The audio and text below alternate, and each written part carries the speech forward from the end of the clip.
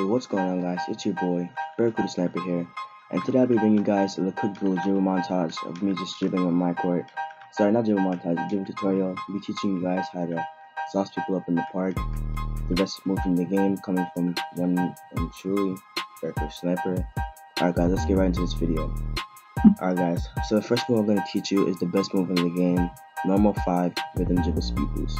A lot of people do this speed boost and just do that like this right here. They just do that. That's so basic and predictable. But we're gonna do a different version. Here's what we're gonna do. Alright, in order to do this move that I'm showing you, you're gonna have to flick up on the right stick once and just wait. That's it. Flick up on the right stick once, just wait for the animation to play out. When the ball gets in the hand that you want to speed boost out of, you run in that direction. Right stick up, do that. See guys, it can confuse the defender because they don't know if you're gonna go right or left. Like they don't know at all. They cannot know at all. Like really unpredictable move. Really good for 2v2. Really good for threes, but no one really plays threes. I have a video on why threes are bad later. But yeah, guys. Alright, guys, next one I'm showing you guys is the momentum crossover. This is one of my favorite moves. I know you guys have seen this move in the park multiple times, being overused by cheesers and things of that nature. Alright, in order to do this move, guys, if the ball is in your left hand, you're going to want to flick the right stick to the right, flick the left stick to the right, and then hold turbo and run in that direction. Same goes for the right side. If the ball's in your right hand, you want to flip the right stick to the left, left stick to the left, and then run and then do turbo in the opposite in the in the right in the in the same direction. Sorry. So yeah, guys, pretty simple move. Alright, guys. Assuming that you guys know how to do momentum crossover right now, because you guys pay attention, I'm gonna teach you guys a new combo. Um, this is a momentum crossover behind the back what you guys want to do is trigger the momentum crossover like this as you see it I'm triggering right now. I don't know why I couldn't trigger it a second ago but yeah I'm triggering it right now spamming it really spamming it. But what you guys want to do is trigger the momentum crossover but as soon as you trigger it you're gonna want to let go of everything for a very brief moment. Then flick back on the right stick and run in that same direction. And that's all you're gonna do. And it's gonna give you this animation right here. This one right here. Oops I'm too far back the hell? What's my control settings on? But anyway, it's gonna give you this animation right here, guys. That one right there. And the guys, that animation, oh, by the way, the behind the back for this animation is behind the back elite. I mean, number 4. So yeah, guys, really effective, better than Elite 6.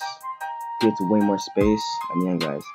Alright, guys, the next the next move that I'm gonna show you, it doesn't really create that much space, but if you do it like perfectly, it gives you a very good speed boost and it really confuses your defender. Alright guys, here it is. This is the Ty Lawson crossover size up combos. What you guys need is crossover size up combo Ty Lawson and um what do you call it? Elite 3 basic size up. I tried doing this with Elite 2 but it did not work so I guess you do need Elite 2. Elite 3, sorry. What you guys want to do, this is how animation looks like first of all. Really messes with your opponent and if you do it right you get a little views like that. Like that. Alright, so what you guys want to do is flick the, if the ball is in your left hand, flick it right, left, right, left, right, left, right, left, right, left. And just keep spamming it like that, guys. Very simple move. Um, it's kind of good for creating space because it gives that nice little speed boost. But guys, remember when you're doing this move, guys, don't do it too fast like I'm doing right now. Do it at a good pace, like that. Because if, if you guys do it too fast, then what do you call it? It's going to give you this animation that animation. Nobody wants that. So you get you guys are gonna want to do it at a gradual pace, like that. Green light is that? No, miss cash. I don't miss. I have a good jump shot. Alright, guys. Now the final dribble move I'll be showing you guys is a good move for two on twos. A very good move actually, especially if you're guarding someone. If someone's guarding you and they like to stay back a little bit, like a, like they like to just guard the paint really. So what you're gonna do is the the rhythm dribble, then do a hop step, and shoot. Because, guys, what this does, what this move does is, since you're doing the rhythm dribble, they'll automatically assume that you're speed boosting so you can get closer to the rim. But no, guys, you're speed boosting to do a hop step, and then once you do a hop step, they'll still be in the paint trying to jump to contest a shot and whatnot. But that won't be working because you're gonna be at mid range or here, and you're just gonna pull up, get a green light, and make it. Even though I'm not making the shots right now, my course are Hall of Fame as always. I always got in our Hall of Fame for badges. There's a green for the first one, first time. But yeah, guys, So that move is really, it's a really good kill move. You can use this in one ones as well. Really good kill move. Alright guys, that pretty much wrap. Oh guys, before I end this video, I'm gonna give you guys a secret jump shot that is like really effective and can never be patched since it's a custom. So you got three greens in a row guys. Here's the jump shot that I use on a daily basis for all my characters. I call it HSRG and you'll see why.